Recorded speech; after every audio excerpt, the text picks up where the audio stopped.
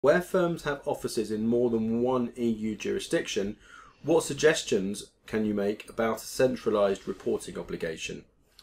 So this was another topic which was heavily discussed in the roundtable event which we had last week, um, because obviously quite a few firms have offices in various EU member states.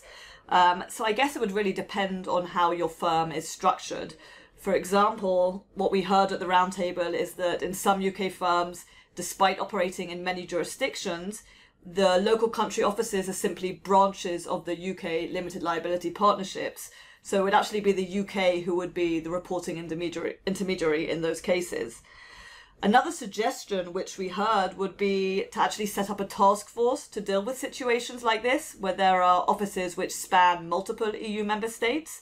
Um, and this would be quite a strict approach where you could potentially appoint a representative in each jurisdiction or each office within the jurisdiction who would be the liaison in local DAC 6 matters and have regular task force calls or meetings to discuss the process.